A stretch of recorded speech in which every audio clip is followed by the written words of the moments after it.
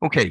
Um, welcome to anyone who's watching this um, through a, a, a, different medium. Um, this is the 19th chapter in our book club on outstanding user interfaces with Shiny.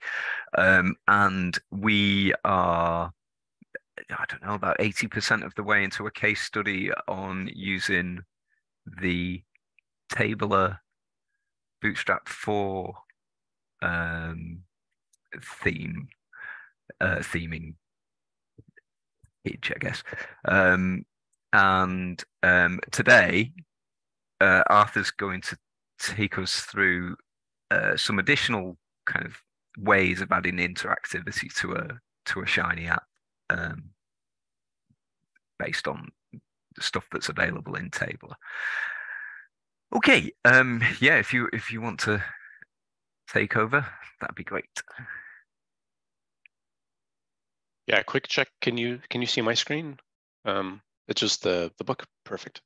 Um, so so unfortunately, I didn't have much time um, to prepare. So I, I you know I read the chapter a good bit, but I didn't. I don't have any notes to to to share.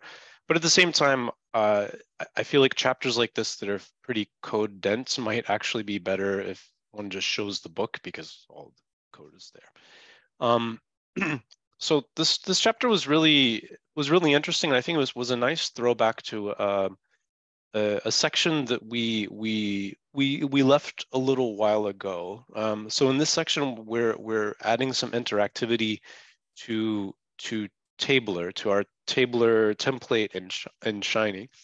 Um, and when you when you say or when you read interactivity, you read JavaScript. Um, so in that sense, it's sort of a nice extended case study of how to add JavaScript into um, a, a, Shiny app, um, in this case, a template. Um, and, and, a lot of the material that we saw here, I'm kind of hovering on the left-hand side, uh, unleash interactivity with JavaScript. So a lot of the things that we saw in that chapter, in, in, in that section, um, come to be relevant again. And so in this chapter, um, the author walks us through how to add um, some interactivity to, to the Tabler template um, to a few different components. Um, we'll see how far we get. Um, I may try to go deep on one and then let that be that because it, it, it the, the moves are, are, are broadly the same, but they're going to add some interactivity to um, a, progress a progress bar um, where we'll have a slider widget and then a progress bar will update. Um, uh, add some interactivity through toasts. Um, so this is the section 19.2. Um, and then uh, and then another one for trans. I think this is a particularity of of of uh, of, uh, of Tabler that the the the drop down menu has elements in it that are themselves action buttons. So how to do that in Tabler.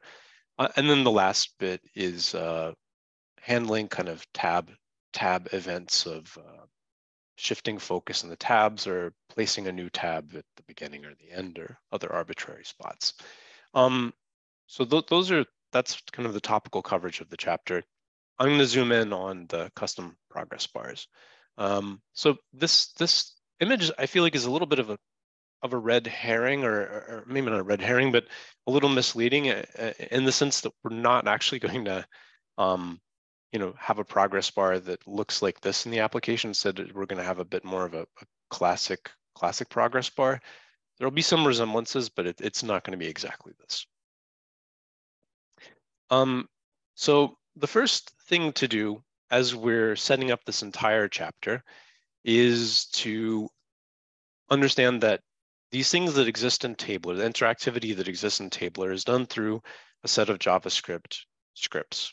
And um, so what we need to first do is ensure that our template um, has an HTML dependency, um, that it depends on this custom JavaScript. Um, and you know, we're sourcing sourcing these these files. Um, here we're sourcing them from the, the package the authors created for, for this book. Um, but in effect, kind of high level is that, you know, we have a set of JavaScript scripts that we need to include into our Shiny template. And so uh, the way of including them so that um, the application, you know, has clear JavaScript dependencies is to create this uh, HTML dependency object with, with htmltools uh, and to identify the scripts that you effectively need to draw into your, your template, uh, into your Shiny app as, uh, as dependencies. Um, so for the custom progress bars, um, custom progress bars uh, really can consist of a few, a few, few pieces. So here, unfortunately, I didn't have time to look at what the the, the source code looks like in the temp, the tabler package. I don't know, maybe maybe I'll be brave and see if I can quickly find it.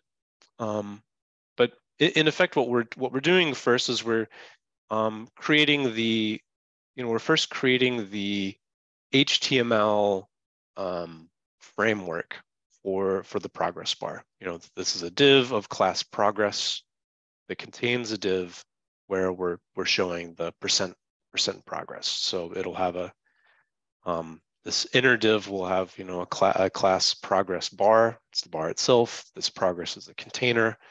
Um, and, and then we'll have some some some values here, minimum value of 100 or 0%, maximum value of 100%.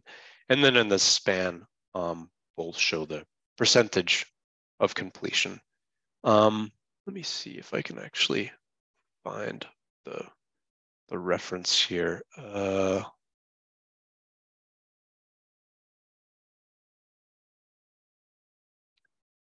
this may be a quixotic adventure for something I shouldn't go looking for. Um, I'll start with something broad and see if that helps me find it.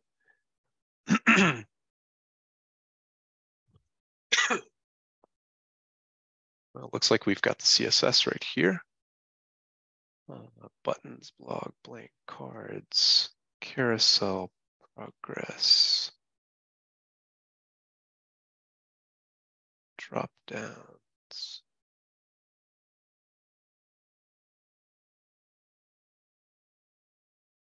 few instances of it in use. Okay, well, I was hoping I was magically going to find it. No, no such luck. Um, we'll just take for take for granted that this is the form that the progress bar needs needs to have, right? It needs to have. Um, there are there are actually examples of the um, HTML code for a progress bar on the Tabler uh, website. I've put a link. Oh, perfect. In the chat, but I, I couldn't find one that actually looked like the example in the book, to be honest. Mm. Because there's a few different ways of making a progress bar, it seems. Right, right. This is a little a little bit different. Um,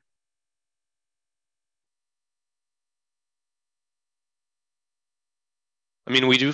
Yeah, thanks, Russ. These do you have some of the resemblances here? So you've got the outer div with class progress, the inner div uh, progress bar, the value value now, value min, and value max, and then the label complete. This inner span that has a percent progress, although visually hidden is, I think, not part of not part of this. But in any event, like we're we're we're trying to write with our um, uh, kind of a, an HTML component, a component in HTML that consists of a few, few, um, few elements. Um, so we need to first create this, this, this, this uh, entity, and then the next task is, you know, we we have this thing, it exists, um, and we need to set its, we need to update its value to set its value, and to do this, we need to have a method whereby R you know, in, in, in Shiny, we can send instructions to JavaScript to, to update this um, this HTML component, right? To update, in particular, like the percent progress um, component. Um, so to do that, um, we'll we'll write this function called update tabler progress. Um, we'll take the ID of the um, of the progress bar, um, the value that we want to update the progress bar to, um, this, pass the session object uh, so that you know R captures the session piece. And then we're going to construct, uh, what we're going to do is we're basically going to send, uh, um, we're going to use a message handler and send a message from R to JavaScript, and then JavaScript will basically react to that message. So we need to first compose the message. The message here consists of a few things. Um, first, the ID of the element, and um, it's it's um, kind of namespaced for, you know, we got the session namespace of the, the ID, so we can properly identify within the DOM the, the element that we want to update, um, and then the value that we want to pass to that, that element. So the value, value component. And then here, so first we compose the message. Now we're going to send the message. So through the session object, we're going to do use a send custom message, which um, I guess is you know, it's right through the WebSocket. I guess you know like R is sending a message to JavaScript side, and JavaScript will do something. So anyway, we're sending a message. Importantly, it's it the message is kind of like it's emitted and and caught on the other side through this this this type uh, uh, argument, this type handler. So update progress is the name of the, the type. Uh, and then we're going to pass the message. So this is going to be a list. And because it's a list, it'll be easily translated from an R list into a JSON uh, object on, on the JavaScript side. Then on the JavaScript side, uh, we'll need to write a function that that basically reacts to a message sent over by, by Shiny. So we'll create this function um, using kind of the Shiny's JavaScript method here. So add custom message handler. We're looking for a message of this type, update progress, and then we're going to um, invoke this function um, that's uh, a function of the message that's being passed over.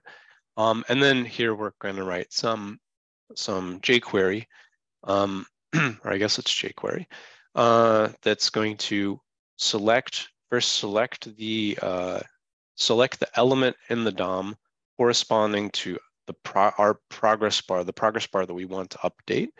Um, so here we've got the hash sign since it's the ID, uh, and then we're taking from the message the ID component. So you'll see here, remember up here uh, the message we sent over, we, we sent over the ID of the element that, that we wanted to look for and update.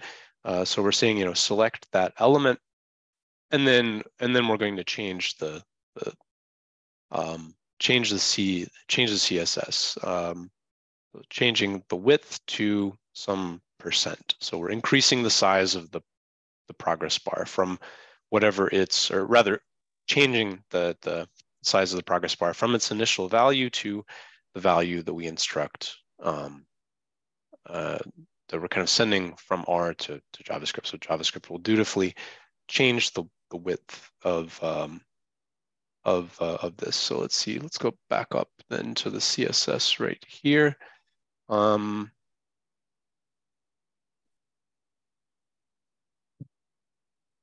yeah, you can see it in that style row. Um, so there's yeah. okay, there we are. Yep. Yeah, that's yeah, the thing that gets updated. But the there is actually um for for like accessibility that area value now thing slightly below it mm-hmm. um, probably should also be updated when updating the the the, the oh the right done. Um, I, and I it's and it's not and it, here. Yeah, yeah, yeah. I do, but I don't know whether it whether there may be some. Actually, it's getting updated. So it's getting. I guess it's getting set. Okay, so it's getting mm. set. You're right, but then value, value. You're right. It seems not to be updated in this particular case, but you're well, right. I, I, guess that's probably it, it, not particularly important illustrative yeah. for yeah for exactly the book, but I, I, imagine it might be a little bit more important if you're um, if you're visually impaired and you're running yeah, or, a, a long yeah, exactly. gap and things. Um, yeah. Um, yeah. So th- these are kind of the three components, then, you know, again, to kind of recap, we've got, we're, we're kind of composing with R, we're composing the, the HTML component, this, this tabler progress bar. um, with, we're writing, we're writing an R um, function that will um, effectively like update the value of the progress bar, bar by sending a message from R to JavaScript. And then lastly, we have a JavaScript function that reacts to that, uh, to the message that's sent over from, um, from, uh, from R. So it's taking this, this message and then taking the components of that message and then performing an action. So selecting the element of the DOM and then changing, changing the CSS so that the bar bar changes um, in, in size or in width. um, and then if we kind of put this all together, it would look it would look a little something like like like this. Um, and then we can see how it it looks. Uh, there's a little screenshot that shows how it looks. So you know here we can set our, our UI in the app. We have the the tabler tabler um, um, body. So here, I didn't quite follow this particular piece, but they have this this particular slider input um, that yeah. comes from a different a different package, and and so this is going to be the input that you know the user is going to adjust, and then its value is going to get sent um, uh, yeah, I think I think it's just a, a, way to illustrate because um, it's it's a way to just illustrate how your how you could update that progress bar. Um, in code. Um, so I mean, the, an alternative might be to, you know, um, sys.sleep a few times or something and mm. update the progress bar as as you go. But um, but with this app as written, like the user can specify. Right, right. I mean, I mean, I guess I guess I got that part. It was more that um, I'll see if we can find that text. That there's there's like okay. something something special. Uh, I mean, I guess I we'll get we'll get to this part a little bit later. Now, I know I think I'm remembering why they've chosen this. But so I mean, basically, we have we have a slider input, um, and then this is basically you can think of it as an as an output. This is our progress bar, tabler progress bar. and then as you might expect on the server on the server side, like as we update the value of the the, the progress the progress bar, then then we'll update then we'll update the um, our our tabler progress bar. Um, and of course, remember this is going to send the message to JavaScript. JavaScript will do its thing, and then through JavaScript, this this this will get this uh, output will get updated. Pardon me. And it'll look a little something like this.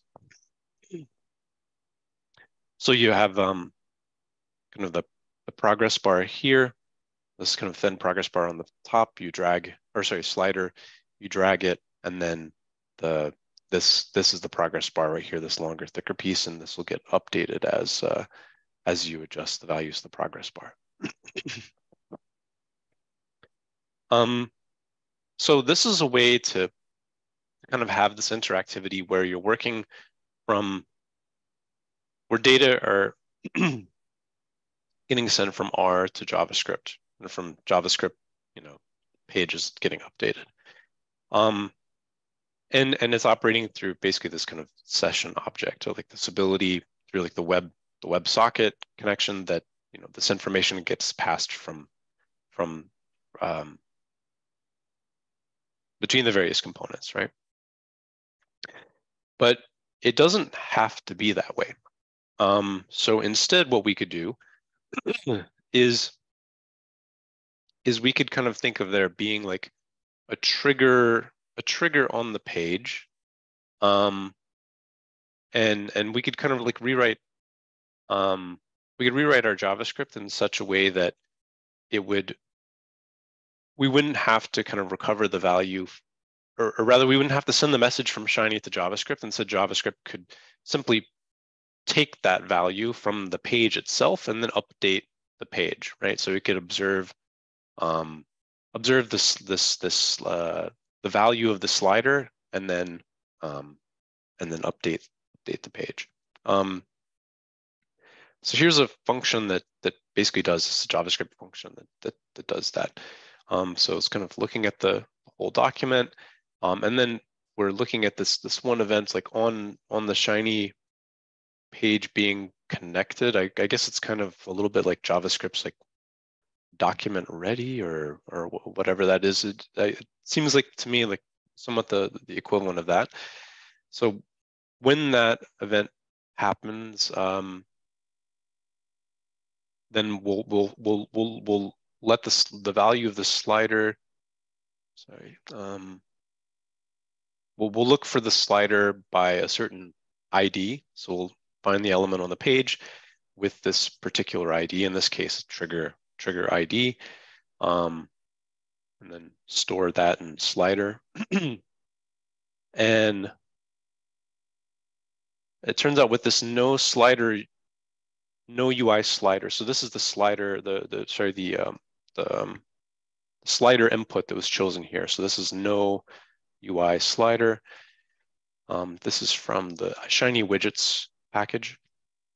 It seems like it has an API that allows it to interact, like if we want, like directly with JavaScript. It seems like it has a, a method here. So like take the slider um, and then has a method on like on update.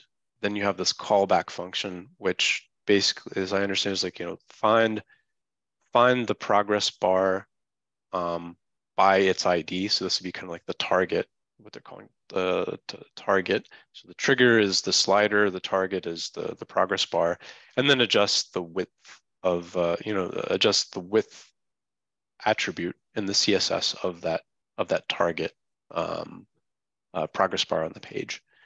Um, and so we could simply take this JavaScript and and instead of writing some R function that uses R to talk with JavaScript through the intermediary of, of the message handler, instead we could just we could just write in a script tag that contains exactly the function that we we had we had above. And so here in the book, the author calls this update tabler progress two. So this is kind of a second iteration of update tabler progress function um, that that kind of achieves the same but through different different means. So here we're using pure pure JavaScript in a sense, um, where Shiny is just uh, writing a writing a script tag in, in the page. Um, so in that way, we hmm? yeah. It's very strange to me. I, I don't quite I don't quite follow it. So, um, so the the event that triggers an update to the um, the tabler slider mm-hmm. is when the shiny app is um, in a ready state. So I, I think it's it's not looking for that means? element until shiny is ready. So I guess they're waiting, like wait until the page has been drawn, right? And then, okay. And then at least that's how I'm reading it. Um, so it's really it's the the event it's responding to is that slider dot noUiSlider dot on. Exactly, exactly. Right. So there, there's some okay. there's some up. I guess there's some update event that's that's emitted by by mm. the hmm. slider UI that you can you can kind of listen listen for basically. Um, and in this outer wrapper is just to make sure that you prevent like some of these racing conditions things yeah. that the, you just wait until everything in the DOM is everything in the app in the Shiny app is drawn before before you you execute the JavaScript. Okay. Um, yeah. Um, yeah. So you just take the script. You could you could write it into the script tag of the in in the page. Um, and you know now we could rewrite our we could rewrite our Shiny app and then have um, you know, this update tabler progress two. Um, so you could have, you know, one slider, uh, progress value one, prog progress value two, and then then have kind of these tabler progress uh, things linked linked to. Um, um, actually, sorry, before I do some quick hand waving, let me actually break this down and make sure that I've got this right. Huh. Interestingly, the server here is empty because we're not relying on Shiny server logic to update. We're instead relying on JavaScript. so then we're left with the UI. Um, you've got um, these two things, which are which are actually going to resolve to script tags in the in the page. Um, then you have the the tabler body. Uh, you've got and you have two two sliders right here. Progress value one, progress value two by the um, and then you've got they're they're set. Um, so you've got the sliders and then the corresponding progress bars. And then what's kind of interesting, the author points out, is when you so maybe let me let me go back. Is like if you think back to our kind of progress progress um, progress uh, or tabler um, our tabler progress bar iteration number one, where we're relying on R to pass a message to JavaScript and JavaScript updates the page. When you stop the Shiny app and then try to update the pay, update the slider, nothing will happen because this this um, or, or rather the the progress bar won't be updated because this linkage between um, R and JavaScript is kind of through the I guess the web socket, right? And so that that's closed as soon as you kill the page, basically. On the other hand, what's kind of interesting about this implementation is once you stop the page, you can still continue to update. Uh, so you can like change the slider on progress, uh, progress value uh, one, and then the progress, then the the the progress bar will will continue to update because this connection isn't going through Shiny. It's not through the WebSocket. It's just through it's just through JavaScript. Um, so that's kind of an interesting, an interesting um, consequence of this this second approach. Um, it's a lot less. Um, how do you put it? Um, idiom like idiomatic R because there's not so much R here, um, but it has this nice nice little side effect. Uh, I thought that was kind of an interesting interesting thing the author pointed out. which kind of underscored the you know like the role of actually working through the this this this message this message you know typically in in in, in R or Shiny where you're working through R R working through this custom message handler you're you're using the the machinery that Java's kind or Shiny's kind of JavaScript side has put in place for you to pass pass custom yeah. messages from from R to, to JavaScript, but it's not the only way of doing things. Yeah as an art developer, I think the the the R route is sometimes a lot easier to um, find. You know, it's a lot easier to work out the sure. code that you need to write. Um, I imagine for someone with considerably more front end experience, yeah. that that would wouldn't be the case. But um, yeah, yeah. yeah. For, yeah, for, for, for me, this is not the path. It's it, it's interesting though. I mean, it, oh, it's, yeah, it's, yeah. it's definitely interesting. Um, and and so kind of like the remainder of the chapter is a little bit more of the same, like thematically, right? So in, in the sense that for each subsequent um, component of the page, we're composing the composing the component using R to write HTML. Um, and then and then we're we're we're creating some functions to update the uh, the UI, um, writing an R function that captures some parameters, composes a message, sends the message to JavaScript, and then lastly writing some JavaScript that that you know, receives the message from R and performs an action. Right. So that's kind of the the I guess uh, to, to use the chapter name from R packages, that's that's the whole game, right? That's basically the, the what what's done uh, for various different components in in, in this. Um, so I mean, here's I can go through a few other. I mean, I could maybe with the time we have, I, I, whether we could like jump to any example that's of interest to you, Russ, or or just like march linearly forward. It, I'm kind of indifferent. Um, um, uh, to be honest, I'm a bit more interested in the tab events than the um the the toasts. But sure, uh, what what was the third section? I can't remember that bit. So this is a bit. This is a bit, frankly, a little bit kind of hard to follow, at least without some visual uh, okay. um pieces where, where um in Tabler, there's a drop-down menu, but the list items in the drop-down menu are action buttons um, somehow. Okay. And so it, it's just a matter of composing that. Like you, I'm kind of a bit more drawn to the tab events because I feel like that's yeah. closer to, to the world in which I live. Um, uh, right. Um, I think there might be some parts of this that, that are tabler specific, or sorry, tabler specific, um, but we'll kind of see as we as as we go. Yeah. Now, um, in a, a couple of chapters ago, we did implement um, a, a tabbed page, so that was there already is the functionality to like go from the first tab to the second tab and, and right. you know the appropriate elements are displayed to you.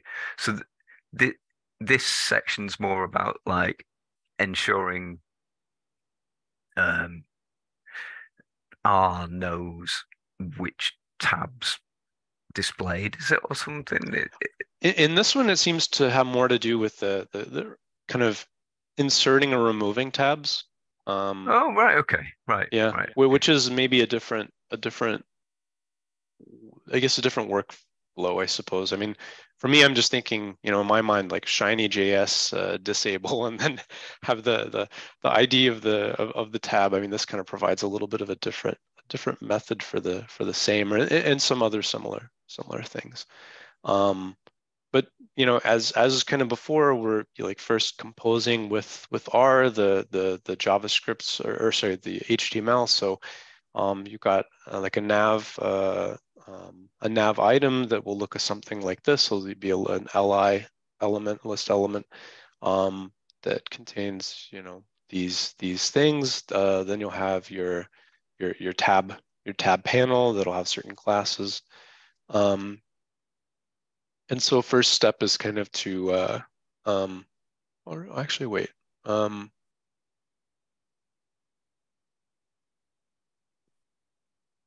okay, I guess they, maybe they step, they skip that step um, of actually composing it. Sorry, I was, I was misremembering. Okay, no, here it is. Here it is now, menu item. Um, I mean, so so I guess what what they're they're, they're saying is we want to have some kind of what we're going to do is try to create some function that's going to be insert table or tab that'll be akin to Shiny's like native insert tab. I've actually never used insert tab. I'm be interested mm-hmm. to look back and see what actually it does. Have you used it, Russ? Yeah, I, I haven't really needed to now, but um, okay. Yeah. yeah, me neither. Um, and so so basically we'll, we'll we'll have some function like this that'll have the the, the ID, um, uh, I guess a tab name, and then a position, whether it's before or after the target tab um, and then whether it's in focus or not, uh, and then then we got the session object that we're passing. Um, right, and then I think they're saying um, just so this works well with with Shiny modules, we're going to need to kind of namespace each or namespace the, the ID here. Um, so first step, you know, after this kind of overview is to um, compose the, the menu items. So uh, the menu items are we're gonna they're gonna look like like this the list the list items. Um, so we're gonna compose that. You know, give them a class, uh, like a, have a, a link tag, give them a class, and have these um, these um, data. Whoops, sorry. Uh, these data attributes, um, uh, role, um, etc. Um,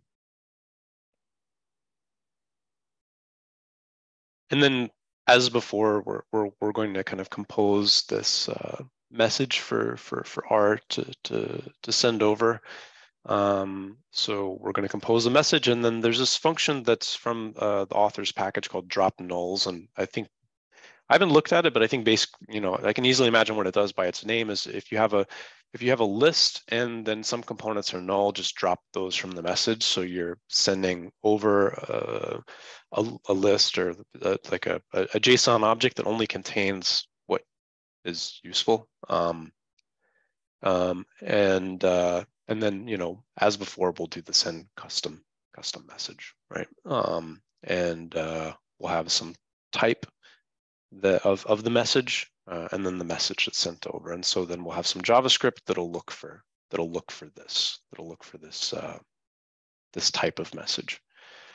So as before, uh, we've got we've got a function that's kind of listening. You know, we have this this uh, custom message handler um, that is going to look for a message of this type, and then then take that message and perform some some actions.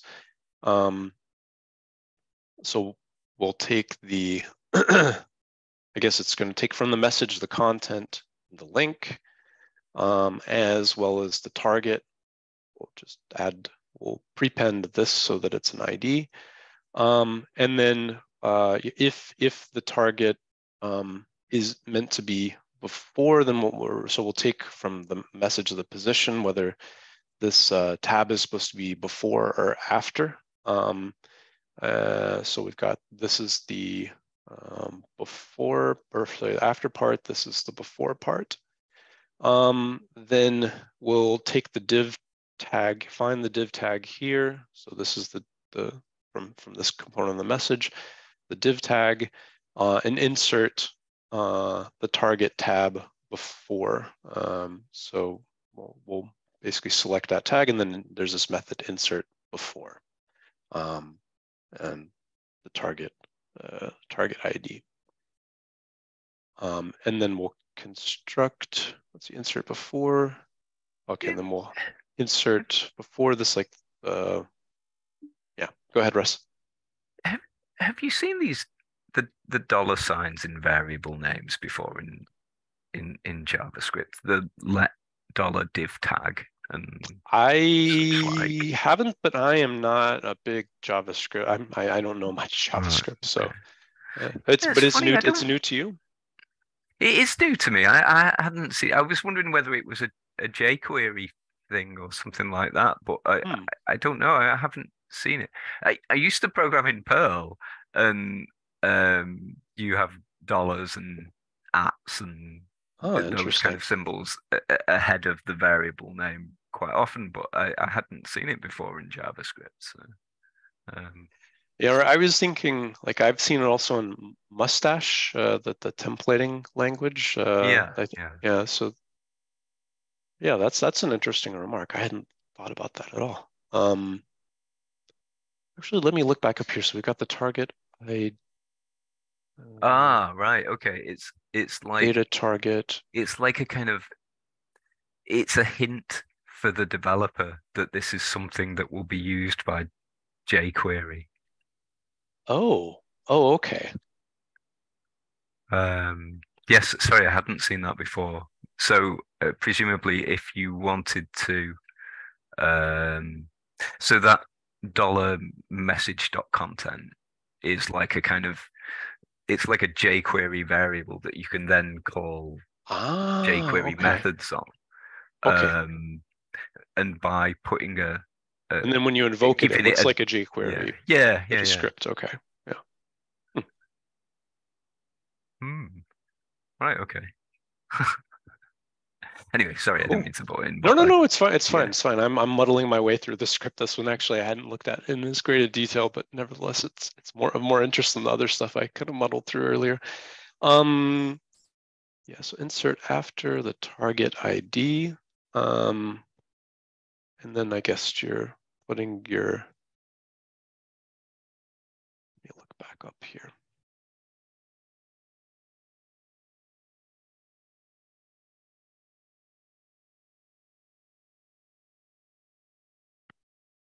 See the data. What's it? Data, data target.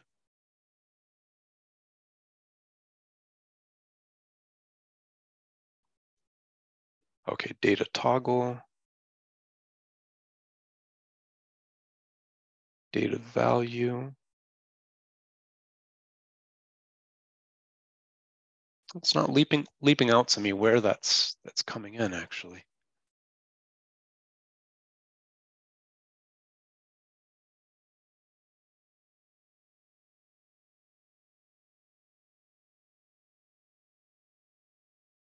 although I see it here in this in this when we're composing it here's the list item.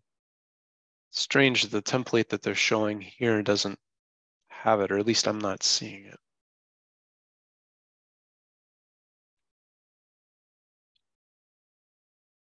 It's like an additional attribute here. Uh,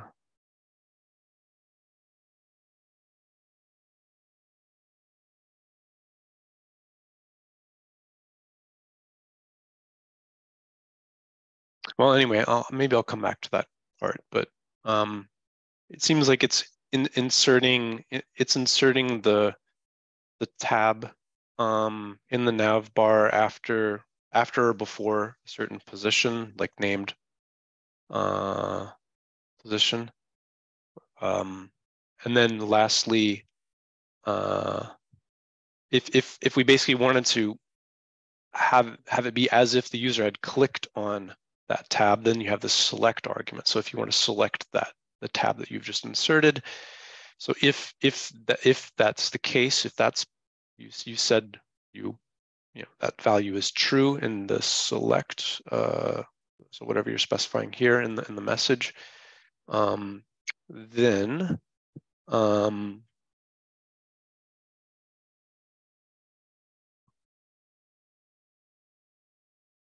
giving, composing the new tab ID.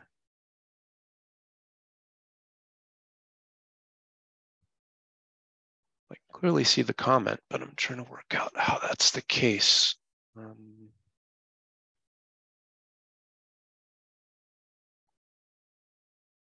oh, okay, I see the very last bit.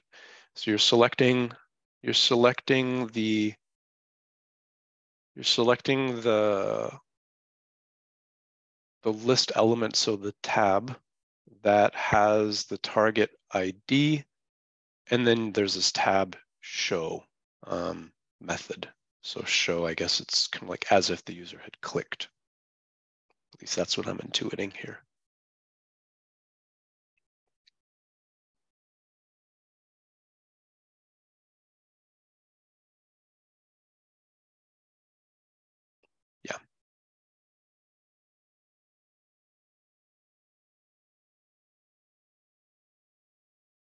Russ, Trevin, have either of you gentlemen worked out what this this target ID bit is uh, meant to be about?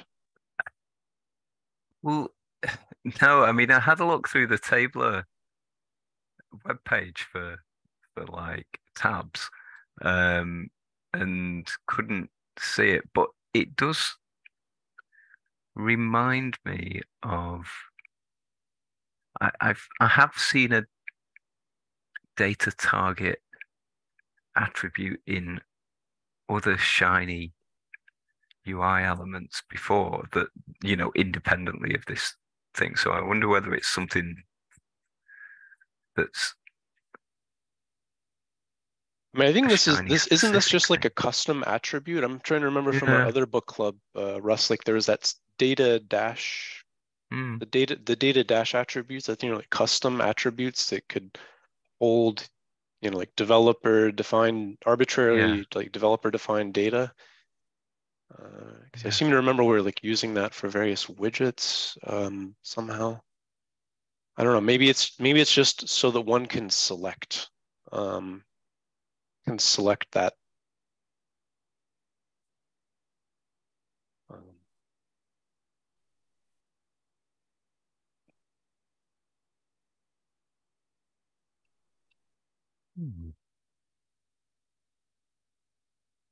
What's a little puzzling is you've got the ID, input ID. Let's see, what is input ID in this context? Um, are, are tabs in Shiny, are they considered an input? Have an input I ID on? I don't think so. Um, no. Um,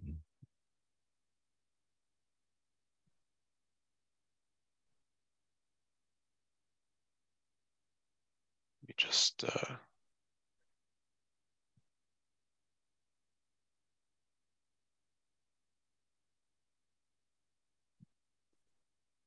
just going to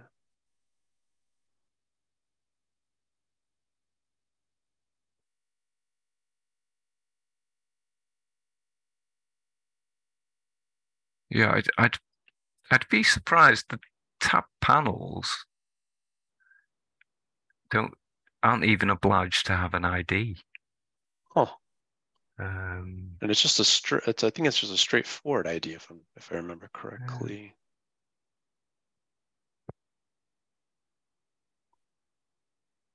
Um,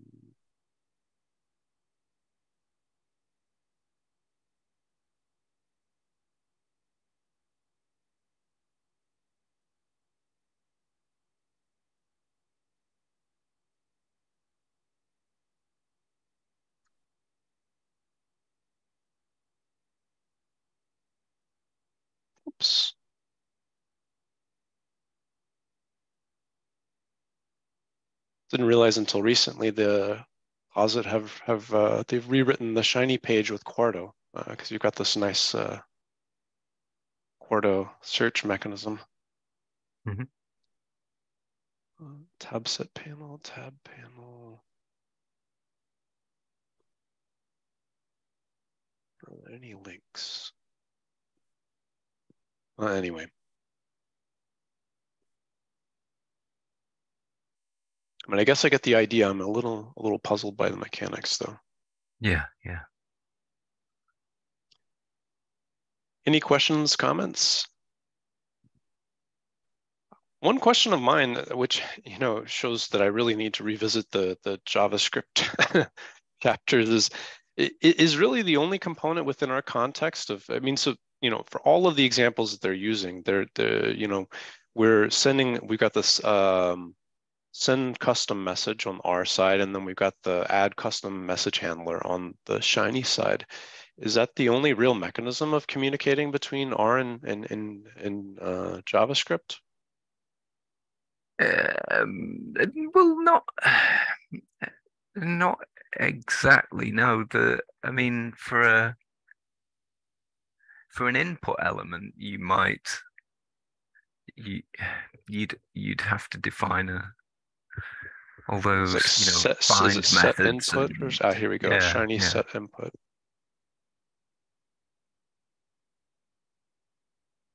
um,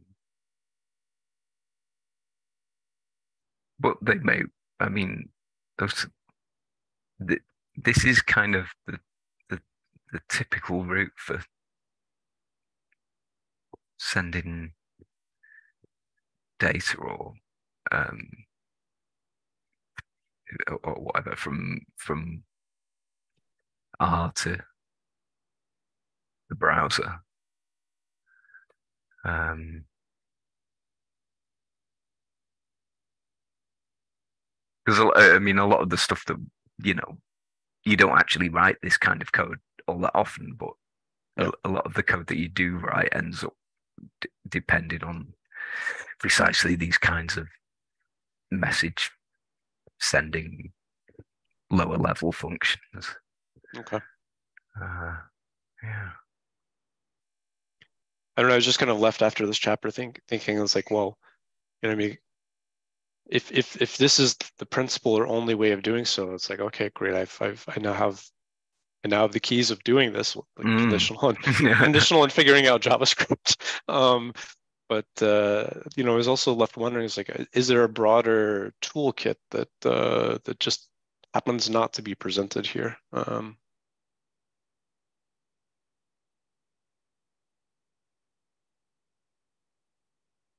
Mm, anyway, I'll, I'll have to revisit I- I also don't- uh, no.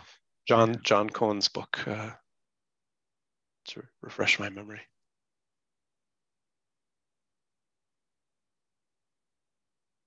Hey, cool. Anyway, Um, that's that's that's it for me. The Yeah, kind of brilliant, uh, brilliant. me- meandering through the chapter. right. Uh, great. Uh, okay. Well, uh, thank yeah, thanks for taking us through it. Um, yeah, it, that the the tab set part was a little more complicated, wasn't it? And um, uh, yeah, uh, cool. Um, so next week we are looking at um kind of I, I haven't read the next chapter. It's about validating template elements, but I'm not quite certain what that will mean in practice. Um, yeah. Um,